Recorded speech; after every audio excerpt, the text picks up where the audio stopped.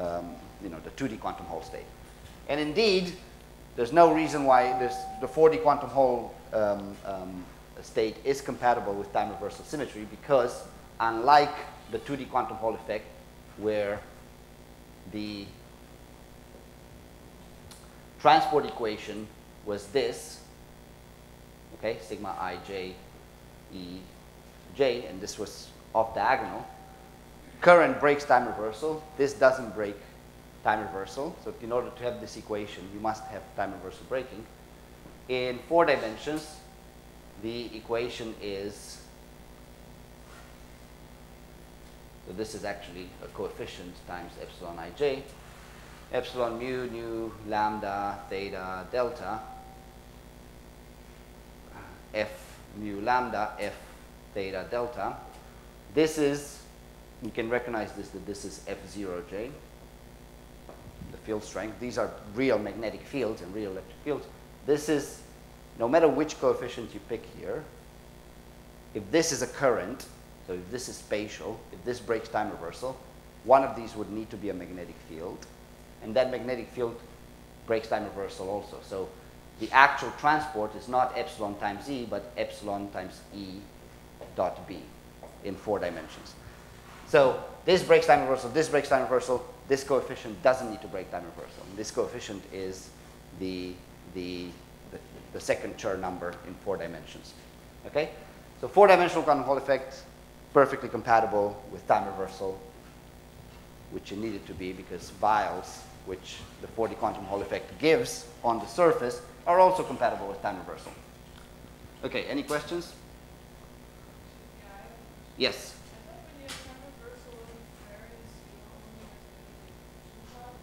When you have what?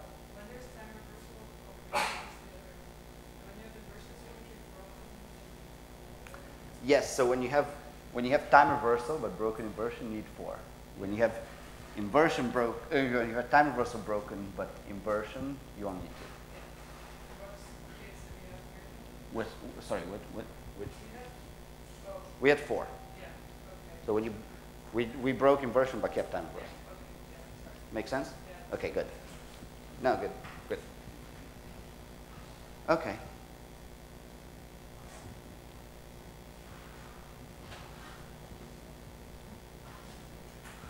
Okay, so what we've gone through is all these doubling theorems and finding, you know, the, the fact that semimetals kind of sit in between topological insulators and they have a very deep connection with topological insulators, which is, which is um, you know, which we've exposed in the past two lectures.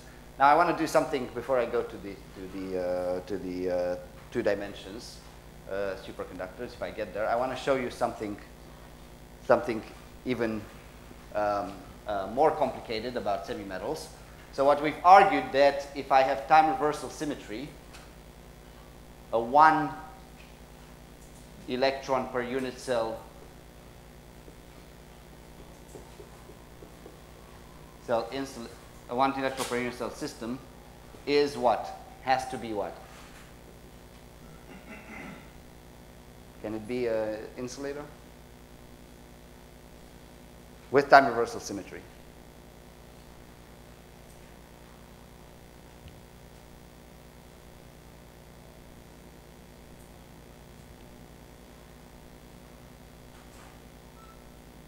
Can it be an insulator? One electron per unit cell?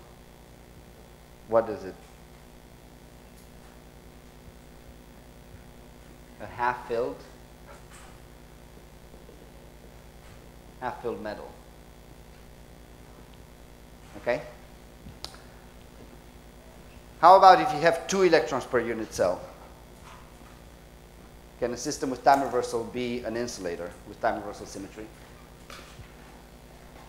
I get it. Oh, thank you. With two electrons per unit cell, it would seem that if you just have time reversal, you can have you can have um, um, an insulator.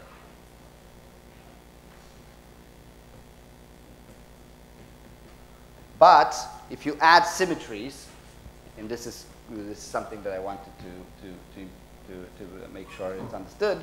If you add symmetries, you can make two, so this with just time reversal would sit here at the Fermi level.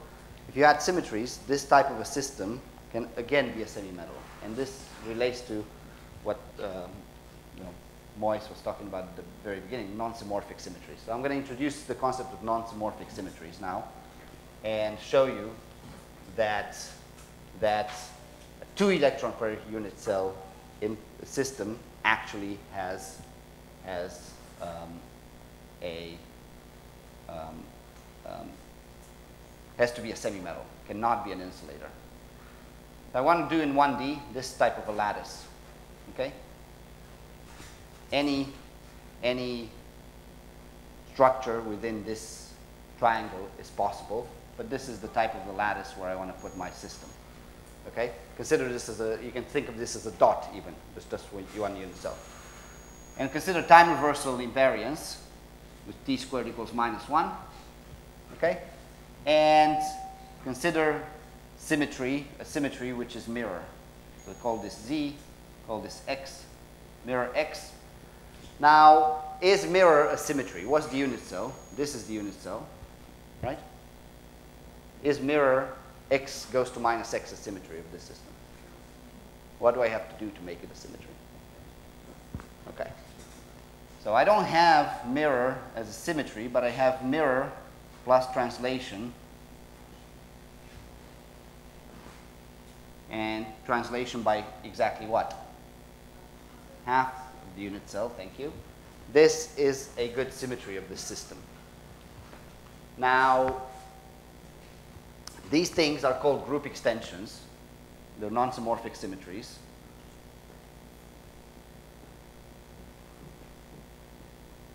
And they're related to group extensions. For example, do you think you can have a system where you have a symmetry that's mirror plus a translation by a third of a unit cell? No. And in fact, there's only two ways to implement mirror symmetry. One way is the following, okay, the trivial way. And one way is this one. This one is the non-symmorphic, this one is the symmorphic one. Okay? And the way you realize this is you're just trying mirror, this mirror squared is equal to 1, this one. So this is a Z2 group. 1 if you've got spin. If you don't have spin, minus 1 if you have spin, because you also rotate. Let's just do 1 for the, for the beginning. I'll go to minus 1 soon. This is a Z2 group. And what you want to understand is there's another type of mirror that enhances this Z2 group by the group of translations. So I'm going to try to extend this by the group Z, which is just translations by a unit cell. Now the way you figure out group extensions, well you can compute cohomology groups, but the easiest way to figure out that there's only two of them, group extensions, is the following. What you want to do is to extend the group. So the, the way you can extend the group is by making mx squared not equal to the identity, but every element that you want to extend the group will act as the identity. So you make translation by the lattice constant to the power x. Okay? So or to the power m, whatever. m is an integer. Okay? And I'm going to figure out how many gauge invariant ways of doing it are there. Well, one gauge symmetry in a lattice is I can also I can only make m. I can all, I can always make m mirror symmetry, but I can also make m times the translation a lattice would, should, has to be invariant under this symmetry by translation by a whole unit cell, not a half a unit cell. Okay? If I do this transformation, then this rule becomes mx squared is equal to 2 to the m plus 2. Notice that whatever power I put here, so say I put 2 to the n, I take mirror and I make, this is just a gauge transformation because I'm just translating by a unit cell, the, the mirror. This changes the group multiplication law to t to the n plus 2n. So this immediately shows you that there's only two distinct ways that are not related by gauge invariance. Gauge invariance in our in our system means just translating by any number of unit cells the mirror operation. And those ways are m is equal to 0 and m is equal to 1. m is equal to 0 is just this one. m is equal to 1 is the non-symmorphic one. Because m, when m is equal to 1, that means mirror squared is equal to a full lattice translation.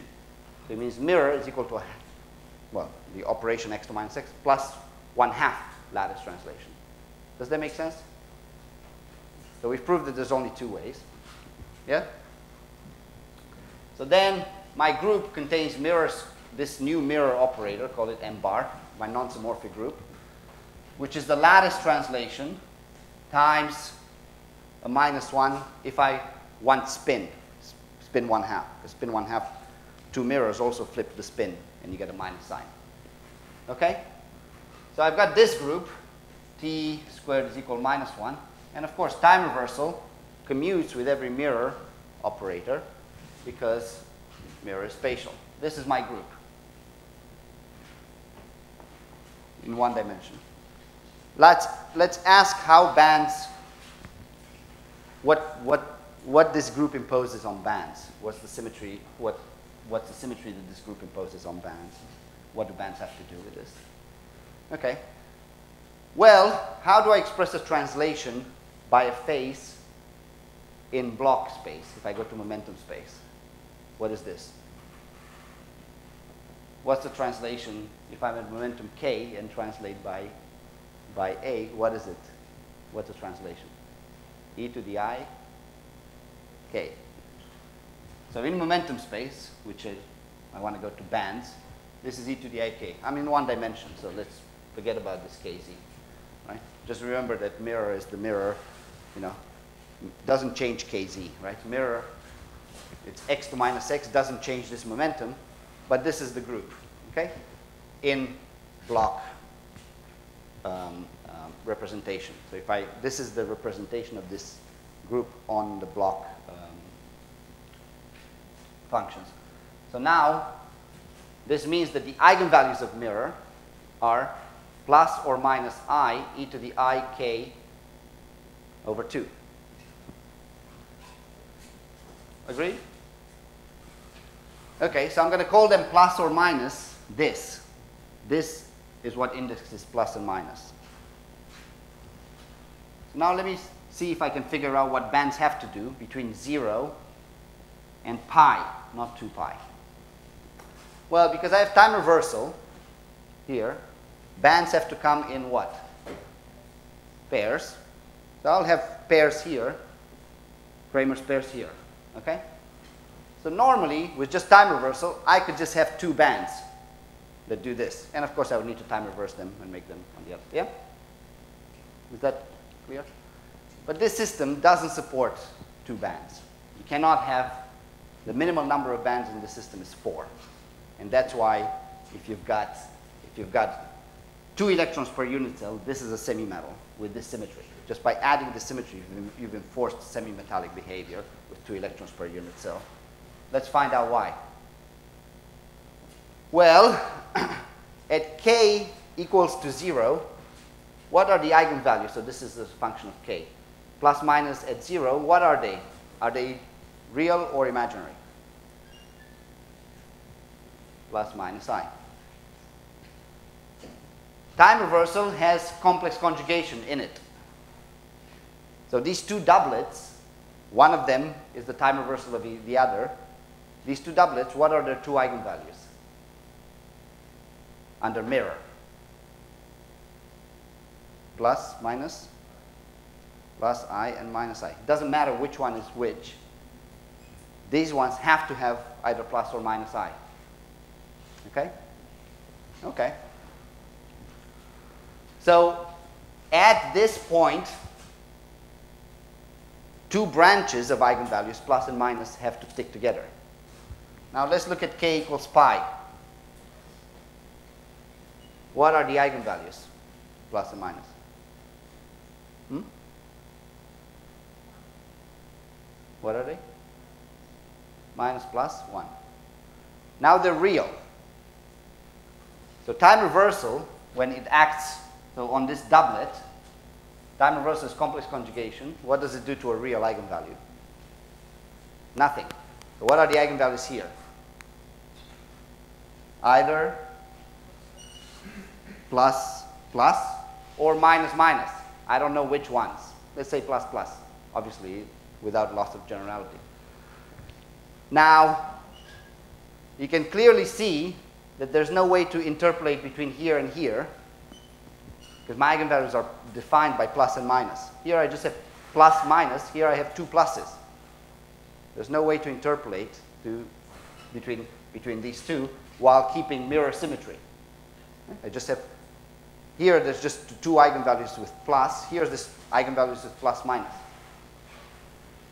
Hence, it means that the minimal system that I can have is another one where I have minus, mi let's plus plus here, four bands, minus minus here. Here there's still plus i or minus i and plus i. Okay? And now I can interpolate between them. The moral of the story, plus has to go to plus to keep the eigenvalue, minus has to go to minus. Okay? So what this system will do is this plus goes to plus, this minus, what you have to keep constant across a, the mirror line is this label. Okay? Minus goes to minus. This is a doublet here. Plus goes to plus. Minus goes to minus. Okay? So this was the minus eigenvalue. This was the plus eigenvalue. Along this line, the eigenvalue is minus i e to the i k over 2. This eigenvalue is plus i e to the i k over 2. This eigenvalue is minus i e to the i k over 2. This eigenvalue is plus i e to the i k over 2. Why doesn't this point open? If this point opened, I could still get, I could still separate things and have two bands connecting. Why doesn't that point open? Anybody? Why doesn't this gap open here? Why is this crossing point protected? Exactly. It comes from eigenvalues plus and minus. They're exactly the opposite two different eigenvalues of a unitary operator. No term that maintains mirror symmetry can open a gap between these bands. You see, the minimum band number here is 4. It's called four-band connectivity. Hence, if I have two electrons per unit cell, so if I have here just one electron, you know, a material is one electron, not, you know, if it, this my unit cell looks like this, but if I have a material with just one electron in the outer shell, my Fermi level is always stuck here. Okay? And this is an enforced semi-metal.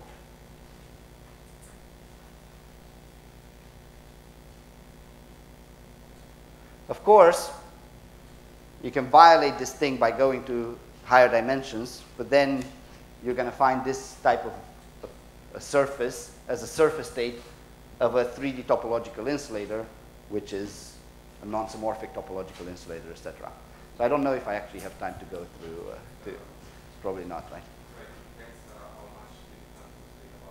Like 10 minutes, I don't know. 2D super. I mean, it's up to you guys. If you guys want to go to lunch or, yeah.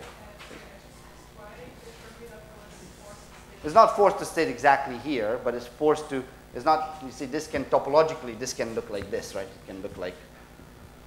Let's call it hourglass. For different reasons. Well, it can look like this. So then the Fermi level can sit, you know, somewhere, somewhere actually, no, it has to sit, yeah. It has to, so, well, depends. If you have it do something like this, it can, it can move away from the, from, the, from the Fermi point. But basically, you have to sit at half filling. Okay, this is in this picture. If there's nothing that does this, then, then you're stuck in the middle. Okay, because it gets, you, you just have half, you have to have half number of bands. If the thing doesn't, doesn't do that, you're even stuck in the middle. Does that make sense? Okay, cool. Okay, so I'm going to very quickly go to two-dimensional superconductors now that you know everything about Majoranas. So, and I'm going to ask the following question. I'm going to ask the question whether, by the way, every semi-metal that you build like this can also be made a superconductor. All you need to do is change the bases. These are single particle systems. The only information about whether it's a superconductor or not doesn't rest in these symmetries. It rests in the choice of bases that you put, or the choice of, the choice of, well, more, more appropriately said, the choice of operators that you, that you put. So for example, every Hamiltonian that we wrote up to now, so let me just write down this Hamiltonian in two dimensions. Sine kx sigma x plus sine ky sigma y plus m minus cosine kx minus cosine ky sigma z. Okay? This doesn't contain any C operators in it, so it's the first quantized single particle Hamiltonian. And, you know, it's kind of a quintessential example of a Chern insulator, right? If, if you, this, is, does this look familiar to some of you? So if M here is less than 2, this has a Hall conductance. Okay? But if I just give you this, you wouldn't know if it's an insulator or a superconductor. Okay? This is H of K. What I also have to give you is the basis states. So this is h of k. The Hamiltonian is sum over h of k. And here I have some psi k, psi bar, psi dagger k. Okay? If psi of k is c s orbital at k, cp orbital at k, and the reason why it's s and p is because they couple through an L equal 1 um, term. These are the off-diagonal matrices. It can't be just s orbitals for example, at the same site. It's got to be S&P, for example, for this. Then this is an insulator because you see it doesn't, it doesn't, it has good particle number. But now if I, instead of that, choose psi of k to be ck, c minus k dagger, okay, then this is a superconductor. And it's a topological superconductor while you're at it.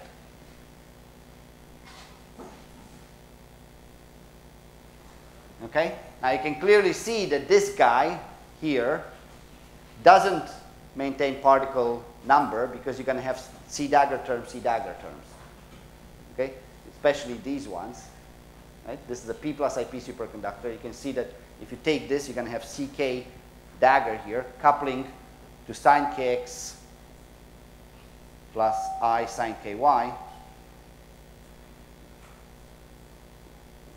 to C minus K dagger, right?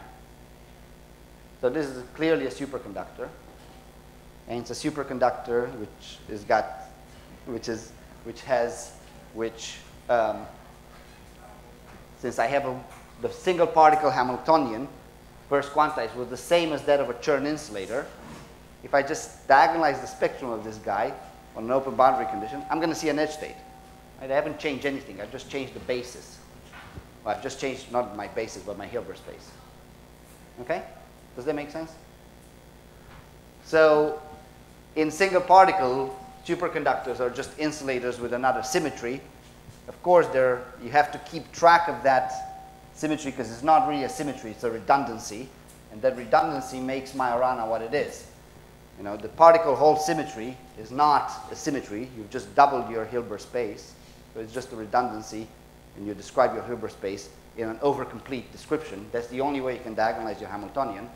So then your zero energy states become particle n holes. Okay, so let's do the, the let's look at this Hamiltonian on, on a disk. For m less than 2, what do we say? That it's got a Chern number? If I diagonalize this, I'll get an edge state.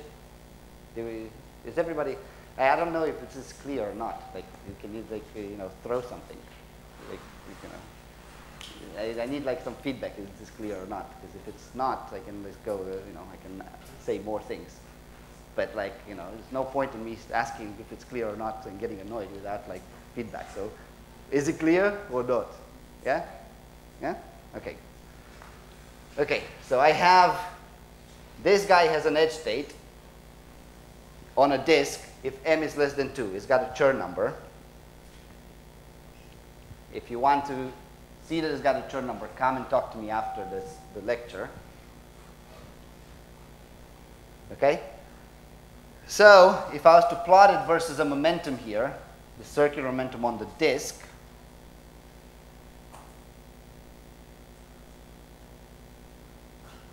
okay, then it would look something like this.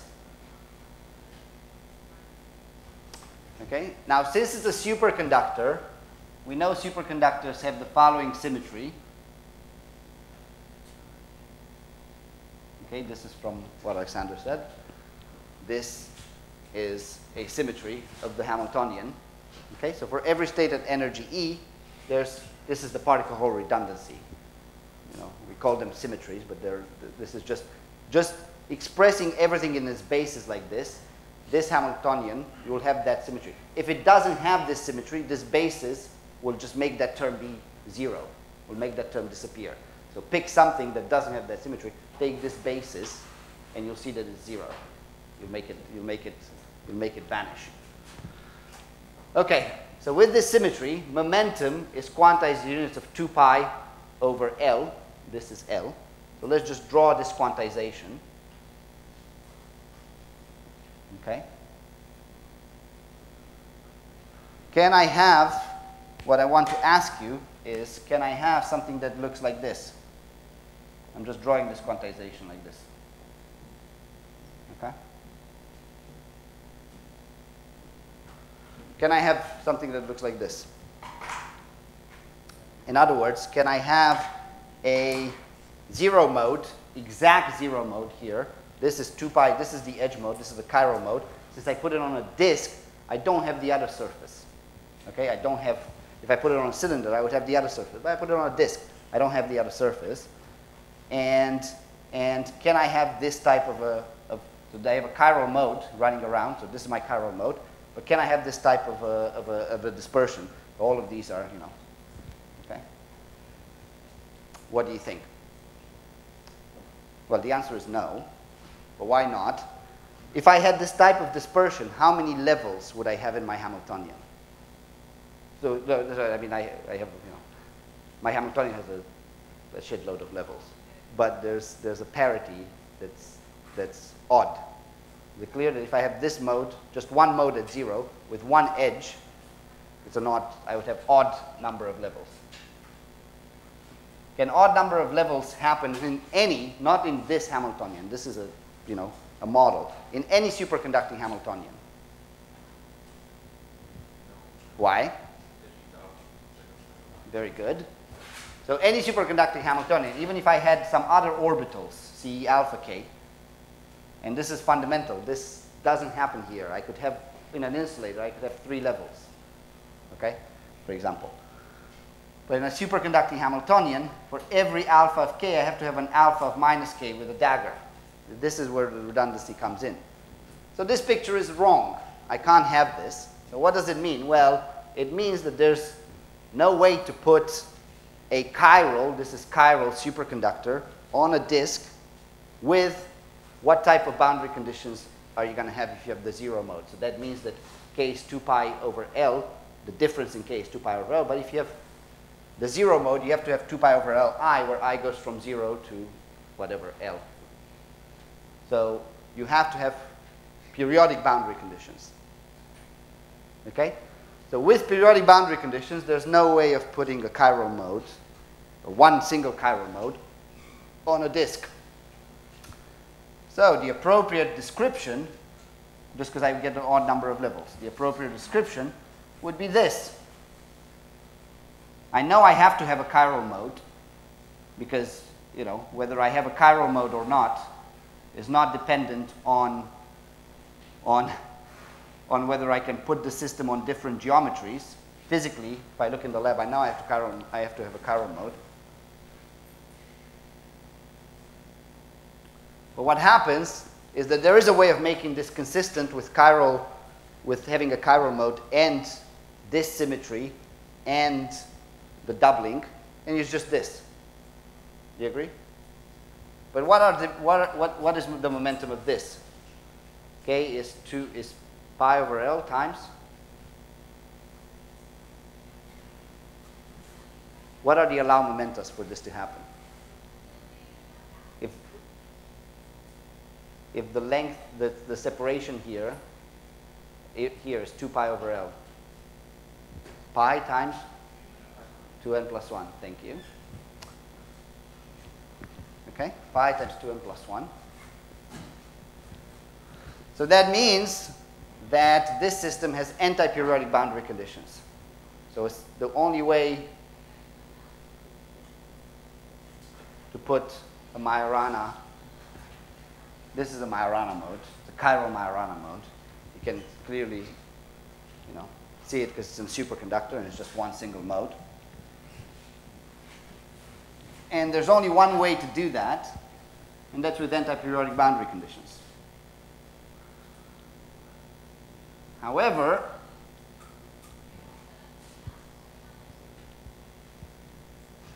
now what I'm going to do is I'm going to take this system and insert flux, localized flux. And I'm going to insert flux um, um, 2 pi, but it's in units of what? H over, it's a superconductor, over 2e. So really it's a flux that the momentum sees, which is pi.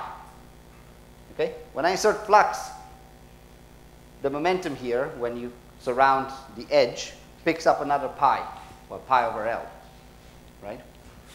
So by inserting flux pi, I move from anti-periodic boundary conditions to what? Periodic boundary conditions. So now if I was to plot the edge mode, there's still a gapless edge mode running around. I haven't done anything. I've just inserted flux in the superconductor. It would have to look like this because I have periodic boundary conditions. So it has to have this mode. Now I run into the same problem. How can I have a double Hamiltonian with an odd number of states? What's the solution? I've done something to the system. Where's the, where's the remaining state that would make this even? Where? Come on, nobody, it's not like ISIS territory. Nobody's going to kill you if you get the wrong answer. what, what, uh, where's, where's the other mode?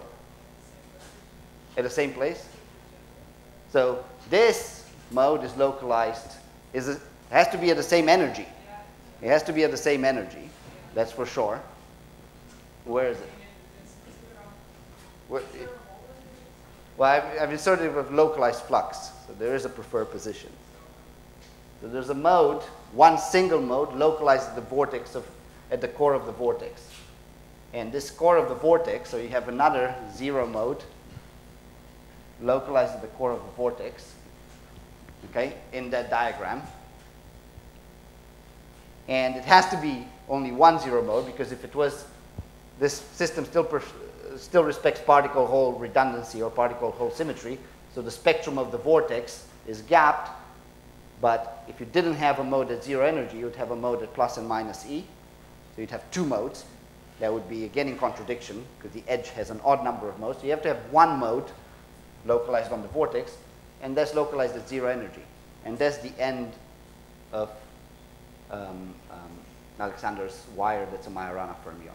That's a gamma. Okay? So this is the Majorana fermion. You can actually express it if I introduce, you know, I can, if I introduce two vortices, for example, I can make this have anti-periodic boundary conditions again, and I can make, I would have, if they're far away, this would have one Majorana, this would have one Majorana. I can actually choose a path between them and draw this, and the Hamiltonian on this path make it look like, like the 1D Majorana chain between the two vortices. So so defects vortices are defects in chiral superconductors have Majorana fermions.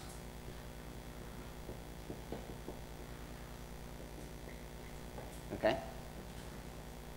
And if defects have Majorana fermions, what's the classification of defects? What did, uh, what did we learn in the past lecture that happens if you take two Majoranas and put them together? Hmm? They gap. But one Majorana is fine. So what's the classification of defects? Z, Z2. Okay? And you can clearly see that that's different than the classification of the superconductor because the superconductor would have one edge mode, two edge modes, three edge modes, four edge modes. The classification of the superconductor by itself, the chiral superconductor is Z.